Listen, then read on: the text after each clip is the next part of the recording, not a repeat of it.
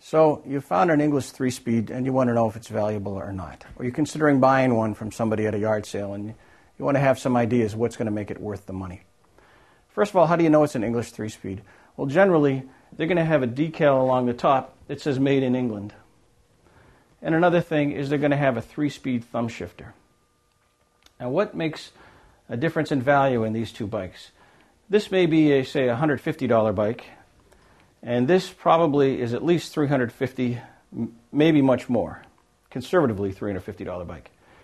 One thing is this is a male bike, that's a female style. There are a lot more of these around than there are of these. This has a leather saddle, a leather Brooks, makes it much more valuable. It has the rod brakes. And these tires, these wheels are 28 inches. A normal bike, a normal English bike, and others are going to be around 26 inches for an adult bike. But this has 28 inch rims, which make it a very desirable bike. Another thing is frame size. This is a very, very large frame. And in general, the larger the frame on the bike, the more valuable the bike is.